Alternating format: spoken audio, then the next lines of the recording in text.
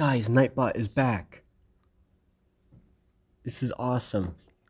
It's like I was in a puppy dog stream. I I just saw like a, a timed thing. It it showed. I was like, wait, Nightbot's back. That's amazing. It's like